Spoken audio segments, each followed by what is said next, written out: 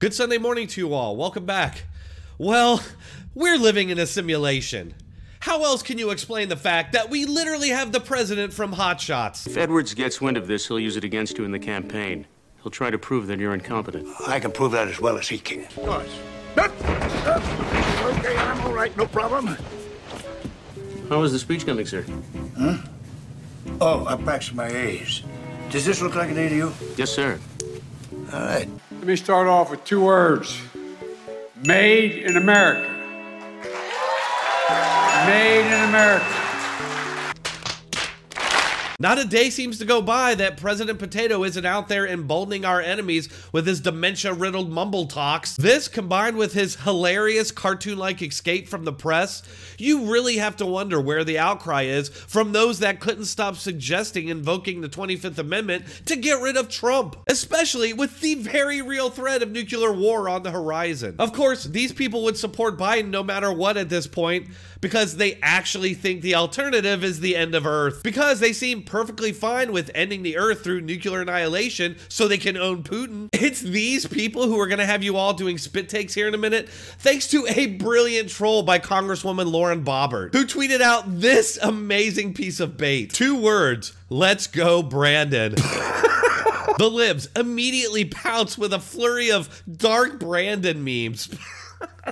thinking they had really gotten Boebert this time, not realizing that they had fallen right into her trap, leading to some serious self-ownages like this post from Laura Reed's banned books in Florida. Quote, raise your hand if you think that Lauren Boebert should be removed from office immediately.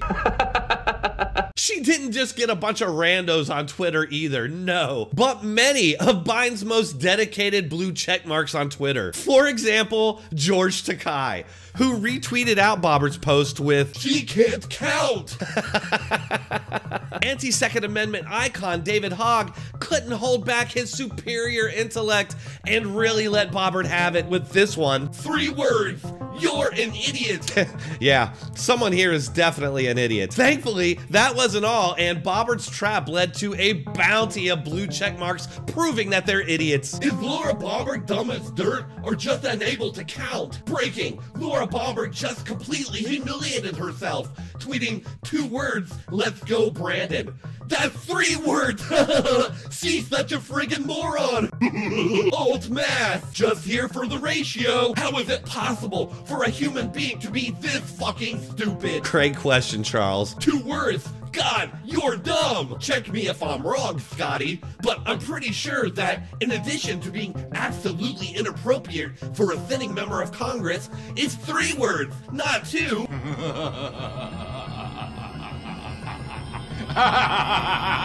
Who wants to tell her that that's actually three words?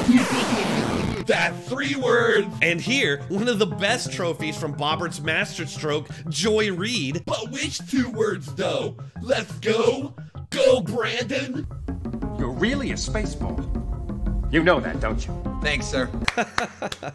Brilliant, Lauren. Simply brilliant. I have not seen such a masterstroke in a while. She tricked all of these self-titled brilliant experts into proving that they're nothing but a bunch of uninformed hacks. How did they not know about this Biden gaffe?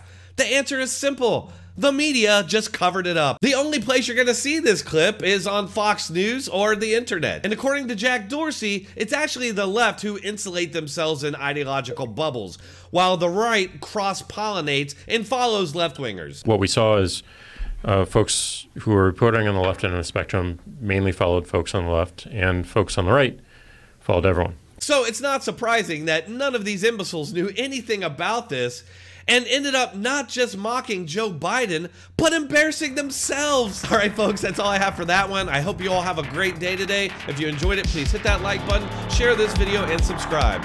Also, make sure to leave a comment to vent those frustrations. Thanks a lot.